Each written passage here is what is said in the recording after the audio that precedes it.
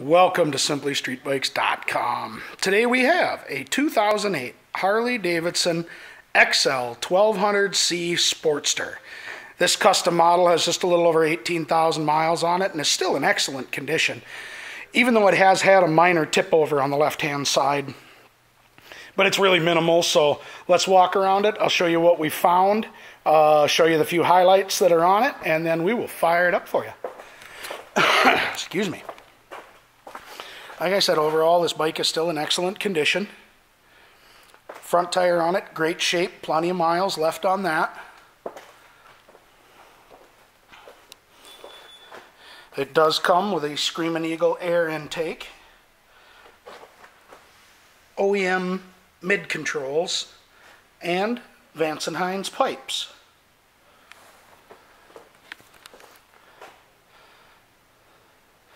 Bike does have a couple of small scuffs on the rear fender. The back tire as well, great shape.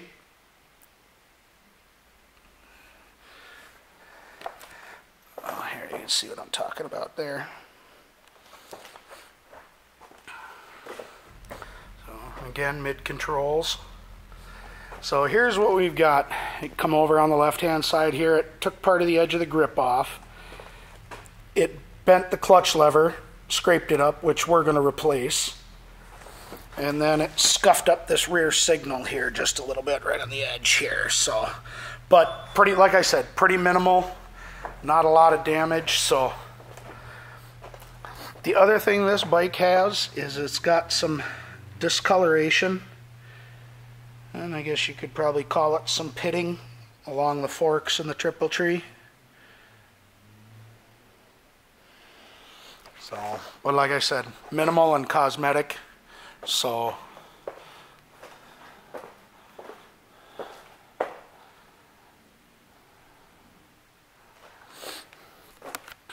right, eighteen thousand one hundred and twelve.